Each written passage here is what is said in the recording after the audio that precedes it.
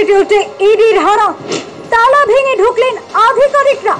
মালিকের বাড়িতেও চলছে খানা তল্লাশি।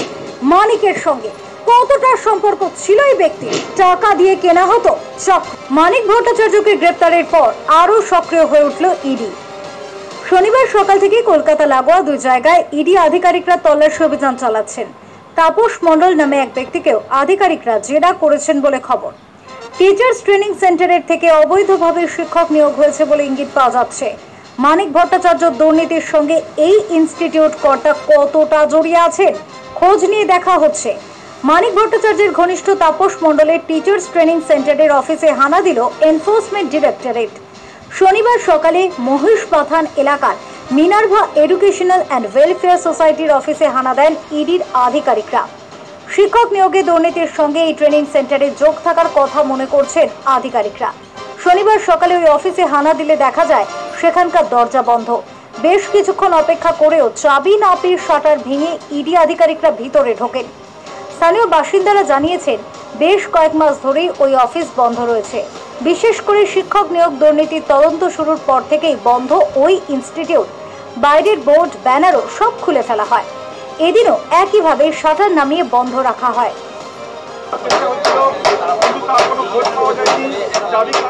পরে চাবি ভেঙে অফিসের ভিতরে ঢোকেন ইডি আধিকারিকরা।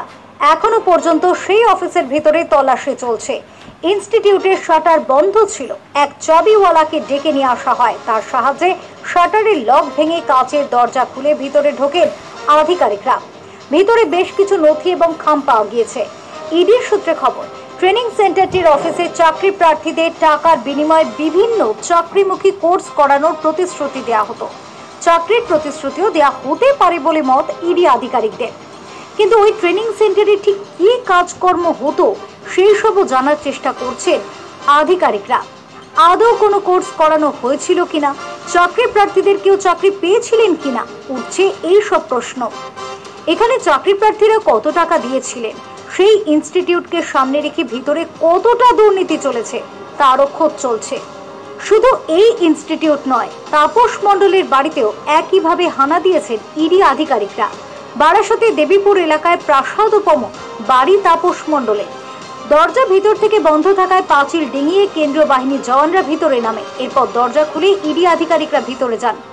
এই সংবাদ পরিবেশনের সময় বাড়িতেও তল্লাশি অভিযান চলছে।